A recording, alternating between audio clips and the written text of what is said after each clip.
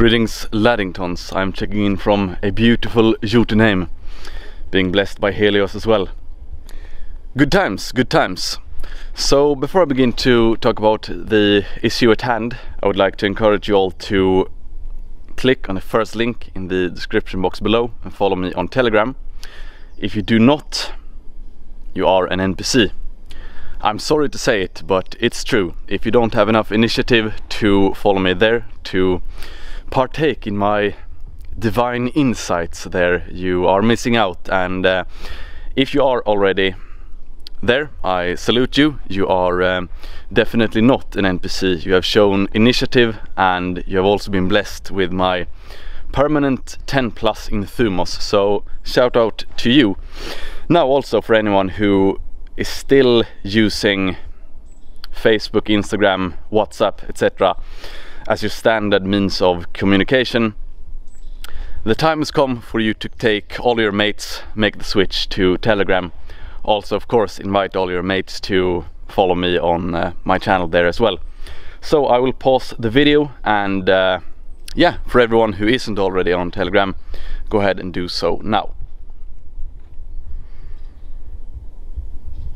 Alright, thank you very much for signing up. I salute you. You have now proven that you're not an NPC. Good stuff, good stuff.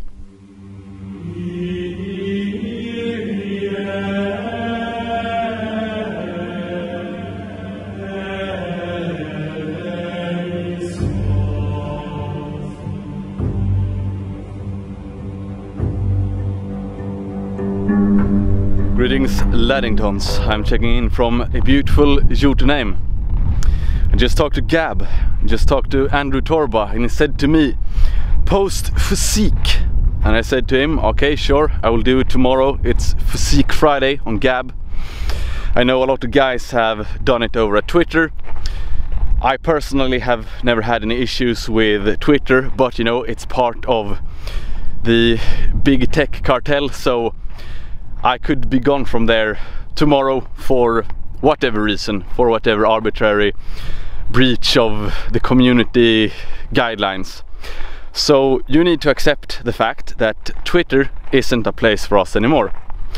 Of course, I will still be on Twitter to, you know, debate, etc. Um, and to perhaps recruit some normies. But when it comes to these internal things, such as creating a culture. And I elaborated on this in uh, my post physique podcast episode so it's a good an hour of me talking about the importance of doing it and the the actual reason for doing it. But long story short we need to create a good culture for younger guys to to be able to go into so they're not going into any bad culture or subculture and uh, squander their potential. So if we're building something for ourselves, if we're building a tradition, if we're having a community where we can inspire each other, push each other, and you know, here's the thing, this is not only for you, it's also for me, because when I see a lot of Laddingtons, so tomorrow I will see a lot of Laddingtons checking in, posting physique, setting a high pace in the Temple of Iron, that will inspire me as well. Just as I'm sure it will inspire you to see others still being active, etc. So posting physique, it's about motivating each other. It's also about staying accountable to someone. And this is actually, and I'm speaking as my, from my experience as a coach, this is your best the best thing to be motivated is to have someone to be accountable to. So if you know that every Friday you will check in from the Temple of Iron. You will check in with a physique update. You know, you can take an epic picture in nature. Those are the best physique posts in my view. If you have that as a sense of accountability, it will motivate you. It will motivate you to push yourself harder in the gym. So that's also a good aspect for you to keep in mind.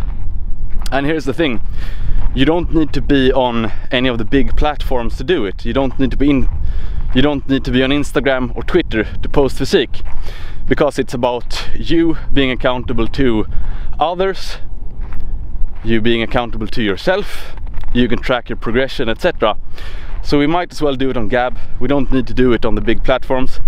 We can use the big platforms to do other things, such as spread our message or whatever. But when it comes to creating culture, creating a place of our own, might as well be on Gab. And now I know some content creators will say to me, I don't want to lose my big following I have on this platform. And this is what I have to say to you. All followers, all subscribers aren't equal. You have NPCs who do not really care about what you say anyway. They might look at your videos because they want some distraction or whatever. They might follow you on Twitter or Instagram, but they aren't really all too invested in you.